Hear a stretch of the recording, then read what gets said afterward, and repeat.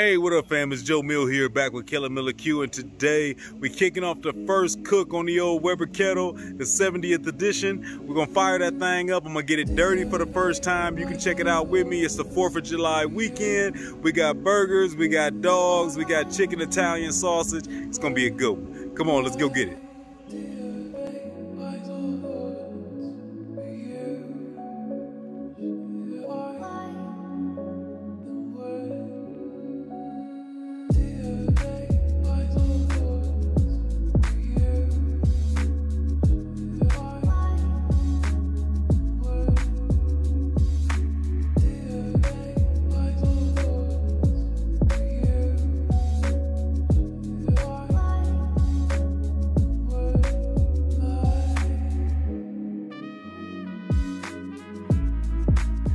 4th of July team, and as you already saw, we got to get a little something on that grill. It's about time to get that thing dirty. We're going to keep it real simple today. I got a, a cast of uh, suspects here that's going to end up on this grill, but uh, really nothing crazy. Got me some uncured natural beef hot dogs, uh, some chicken Italian sausage that we got over here, some uh, green onion and garlic chicken sausage. Uh, we're gonna throw together a couple basic old burgers, and then uh, we're gonna do. So I got some a pack of boneless chicken thighs here. We'll be grilling that up. I'll probably be throwing me together a chicken sandwich, and then I'll be using a little bit of the rest of that for the week. But uh, let me uh, get this chicken cleaned up first. I gotta get up out this heat before we melt all of this stuff, and then we get this fire going. I'll show you how we're gonna season it up and what we're gonna do. Okay, so we've been over this before. I like to clean up my chicken just a little bit. I mean, truthfully, we out there on that grill, the majority of all that fat and everything will come up off of there. But a lot of times when you're talking about some of these thighs, there be some um, connective tissue, some fattier areas that I don't care for as much. I still don't go crazy. I mean, once you get boneless, that does a lot of taking rid of it or getting rid of a lot of it. And if you go chasing all that out of there, I mean, eventually this thing will fall apart. So really, I just kind of get what's left on the edges, anything that's kind of too loose and straggling, any big pockets, and then kind of go at it from there. But uh, only thing I'm about to do next is, and I thought I brought it out here, I'm about to grab my Bearded Butcher's Cajun seasoning, a little bit of uh, oil to throw on these babies, and we're gonna season these up, and I'm gonna throw these right back in the fridge and let them hang out while we get this grill up. All right, so there go that chicken. Didn't do nothing too, too crazy. Hit it up, like I said, you can use whatever seasoning you have. I was gonna do some SPG, some salt, pepper, garlic, nothing crazy, but I wanna give it a little flavor. So hit it with a little bit of this uh, Bearded Butcher's Cajun seasoning. It's a great seasoning. I use this on a lot. I really like it on my breakfast stuff, but uh, wanted to use it definitely on this chicken. And then um, I'm also gonna be doing the same thing when I do these burgers. I went nice and easy, didn't wanna go too heavy. I don't want it too salty. And then at the end, I can kind of go to taste, ended up hitting it with a little bit of salt just to wake it up if needed. Um, and then as far as your burger, just grab this from my local grocery store, my old Winco. Nothing crazy. Make sure you grab you some 80-20. That make you the best burgers. That's the best uh, meat to fat ratio. Um, these, this is about a pound. So, I mean, I'll be making me about a quarter pound patty. So at the end of the day, chop it in half, chop it in half again. So I'll end up with nice four big old patties. I thought about going Eddie Murphy style, making me a nice big old onion green pepper burger. But uh, who knows, my baby might not eat that. So I'm gonna keep it pretty simple. I'm about to break this down, make it into patties. I'll hit it with a little bit of that Cajun seasoning as well. And then, like I said, at the end, we can hit it with a little salt, a little pepper, whatever. All right, nothing too crazy. Maybe a couple of these patties nice and big for daddy. A couple of these small ones there for my girls. Other than that, uh, pro tip, throw these babies back in the refrigerator. Fire's about to get taken care of now. That'll give these a second to firm up.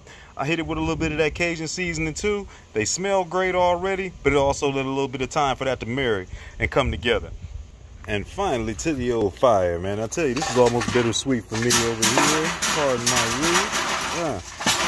I didn't put too many coals in there. We're gonna be testing this thing out with just one of the uh, sides with coals in it. At the end of the day, I don't need that much heat. I'm gonna be cooking indirect. I'm gonna try to keep this baby a little clean. Like I said, it's almost a little bittersweet because as much as this thing is so crispy and I couldn't wait to get a hold of it, man, I don't want to get it dirty. But you know, got to do that. Got to get this cook in. So I'm gonna be using a little pan over here. I didn't add no water to it, though I could, but really I'm just using that over there to catch some of those uh, drippings. It was nice after that burn in, being able to use that uh, bottom cleaner and just give a couple uh, shakes and then pretty much be able to get all my ashes to fall down. But uh, nice setup.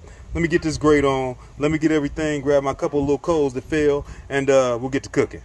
And let me tell you, we got the old Buick fired up and this thing is rolling, burning clean like always. Pretty much I just uh, did a about maybe a third of it I closed down in the damper down below and then um, I'm pretty much going to be running my vents most of the time wide open on top. That way it's got all that room to breathe over the top of my food.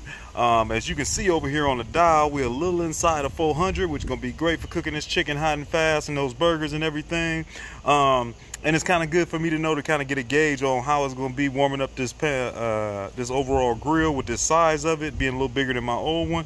But then also with those little baskets. Only having one of those baskets pretty much full didn't really use much charcoal at all. And being able to hit this temperature lets me know when I want to do something low and slow I won't have to put a little bit of nothing in there and then I'll be able to just add a little bit as we go. So setup is good. Let's slide this baby on back. Uh love that holder you see what we looking like over here on this setup. I'm gonna get everything cooking and laid out over here. And then we're gonna keep on cooking nice and smooth and easy. Let me go grab that old uh, chicken. All right, we got it somewhat loaded up in here. We're gonna get it dirty. We're gonna get it dirty. I'm gonna hold off on my sausages and the hot dogs and everything and let this go for a little bit. Uh, I'm gonna start this over here on the, the flatter side, let everything that can stay together stay together, and then we get this thing flipped over. I'll bring you back here in about 15 minutes, something like that. All right, it's been about 19 minutes. I've been in over here and poked in here and checked it out one time. As you can see, I kind of slid the uh, vent more on that indirect side like normal, so it's pulling. But uh, also, you're gonna notice that my temperature gauge is a lot higher, and that's because it's directly over where my coals are at.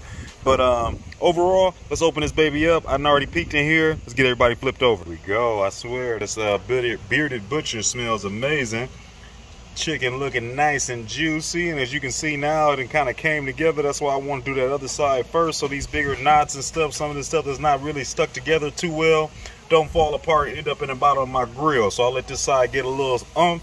Now we're about to get everybody flipped over and then uh, we'll get the rest of this thing cooking.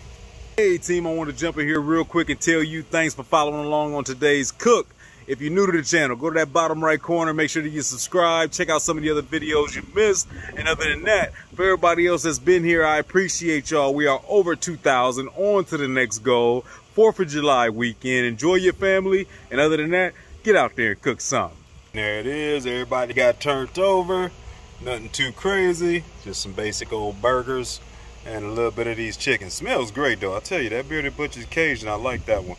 I'm gonna let this hang out. We only at about 150 degrees all the way around, and then uh, we'll get it done. You already know that chicken got to get to at least 165-ish, and then uh, the burgers will be as you choose. But ground beef, you want to get that stuff done.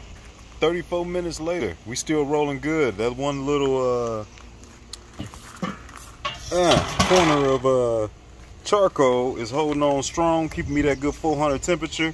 Well, I'm about to take a quick temperature on this chicken and then what I'm thinking is we should be pretty close to about that 165 mark. I'm gonna go ahead and do a little quick sear off over here on this hot station, get a little color on these babies and I'm gonna let them sit off to the side because we will be bringing them back and I just started me a little bit of bacon in the uh, inside that we're gonna be adding on for our sandwich so that way we can time everything up and we'll go ahead and get some of these sausage on. Okay, we got everybody here on the party now. We got, uh, what is this, uh, green onion Italian sausage, uh, Italian chicken sausage. And then we just got some regular chicken uh, Italian sausage over there. And then I got me some good old-fashioned Hebrew National, some beef hot dogs, 100%. I'm going to go ahead and, uh, this chicken's probably at about 155-ish, something roughly here or there. I'm going to go ahead and try to give everybody a little bit of color along with these burgers right over here on this uh, hotter side. Added about four extra coals over here just to keep this thing going. But uh, we're rolling pretty strong. Uh, I'll leave this thing open. We'll give them a couple minutes on each side, and then uh, we'll get these off of here for now. Nice that I just remembered that I got these little holders here for my uh, tongs or whatever have you. Give them a little bit of color. I'm to have to add me a couple more coals over here. This ain't that hot, but there we go. That's about what I'm looking to get that thigh to. Get a little bit of color on there. It's looking nice and pretty. He's coming off. We'll check on all the friends, give them a little bit of color, rotate the rest of them in, then I can close this thing down and go ahead and cook these dogs. Finishing these babies up, man. We looking pretty damn good at the end of the day. Uh, just a little bit of color. Could have went hardcore and gave it that hardcore sear, but uh, I'm trying to keep my chicken nice and pretty. Let me see where this one is at. I got a couple of them. Usually once I get in somewhere like that, there we go, between one, I'd say 75-ish to 195-ish, that baby's coming off for me. A couple more, I'm gonna close this thing back down and finish off these old sausages. And we got them thighs done. As you can see, we got us a little bit of color on there. Nothing too hard on the char, even though I do love some uh, nice dark char. But I kept these nice and pretty, man. We kissed these babies just nice and easy like. Man, I tell you, that old Cadillac over there, or that, oh, no, no, I'm calling it Buick. That old Buick over there rolling smooth and easy. I got them sausage going now. I'm gonna put these to the side. Burgers is already off and then uh, we'll assemble some things and then uh, family getting hungry. We're gonna eat. Then we are finishing off these uh, chicken sausages and chicken Italian sausages and these couple of beef dogs directly over the flame. Get them a little bit of char, get these babies done. We're gonna assemble. I'm losing flame and heat, but it's about that time to eat. And these sausages look about like I like them. A little bit of char on there, a little crispness. We're gonna get these babies off here. It's time to bring them buns out, assemble these sandwiches, and it's time to smash. So next, we done brought everything back out here. It's up to you. You know, I'm warming my buns a little bit. Got a couple uh, cheese that I like breaking up on there so I don't lose all my cheese instead of just leaving in the whole slice. And then what I did is I took two of these uh, pieces of chicken thighs and kind of laid them on top of each other. And then we just gonna throw a nice piece of cheese. Oh, what am I doing? Almost forgot. Hold on one sec. We go. Almost forgot a little bit of that bacon to put on there. Put it going the opposite way. Throw me a nice piece of mild cheddar down there. And now I'm gonna close this down and let this melt up. And we're gonna build and assemble. All right, a couple minutes later, we should be good. Oh yeah. Let's get these babies on the bun, assemble, and taste. Finished product team. I am fighting these bugs and running around my yard trying to let them get this sandwich before the rest of us do. But uh, I got everything I want. To give you a little combo of what we got going in here, I took that chicken, got it laying on a uh, piece of lettuce, couple chicken breasts, put that bacon on there, let that uh, cheddar cheese go ahead and melt right on top. I got Duke's mayo on the bottom. Whoo, get out of there, bugs.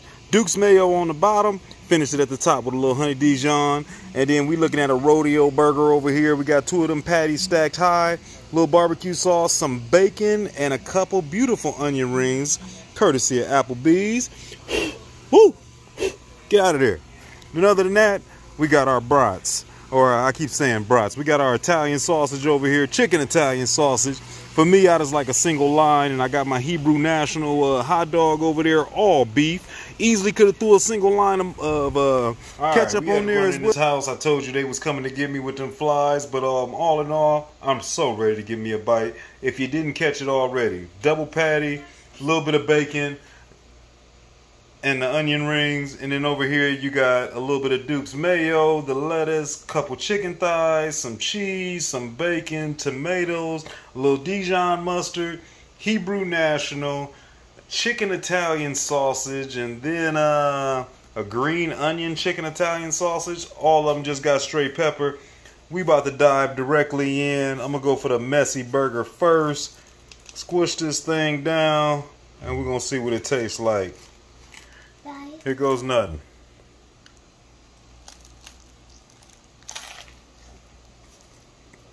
Man. I'm so happy I wasn't on camera for that. That is a big, juicy, messy burger. This is actually the one I want. We're going to take some time on that. Whoo! You're going to have to take some, or take my word for it on this one. That burger is amazing. I need to work on some of that before I can get to that and get to all the rest of this. Share it with the family. First cook is out the way. Can't go wrong. Nice and easy. 4th of July. Don't do nothing crazy, but you make sure you enjoy your holiday. Peace. Hey, so video is over. These the Midwestern moments, man, when the grill is going too good and you just want to start grabbing everything out the refrigerator. Man, I had some corn that I almost forgot about. I'm about to get that done. We doing s'mores out here. The old Buick has done its damn job today. Smooth and easy. I done had me a little bit of fun for this 4th of July, but hey, you know what time it is. I'm going to catch y'all next week. we going to keep this thing pumping.